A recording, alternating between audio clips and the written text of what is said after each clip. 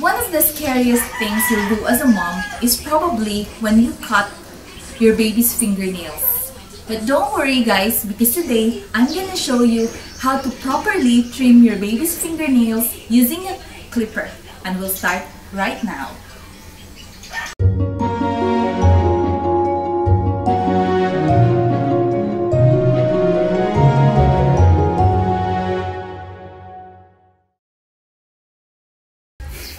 Everyone, my name is Melai and this is my baby Cara Zorel.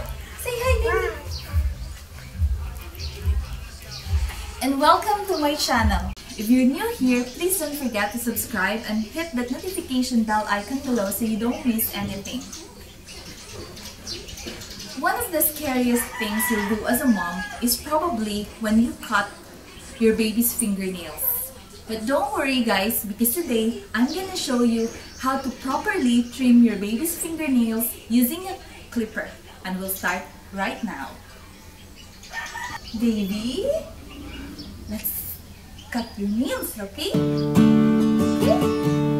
that! Yes!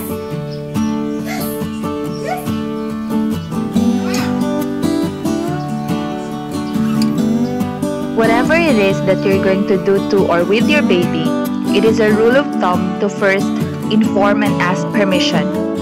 Even if he or she doesn't know how to utter words yet, but surely he or she can understand and be sensitive enough to his or her reactions.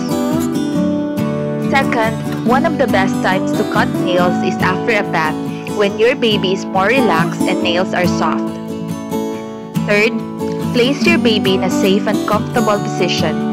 Babies who can't sit on their own yet is better placed in a bed where she can move freely in cases she or he resists. My baby can already sit on her own so it is comfortable for the both of us if I place her in front of me or on my lap.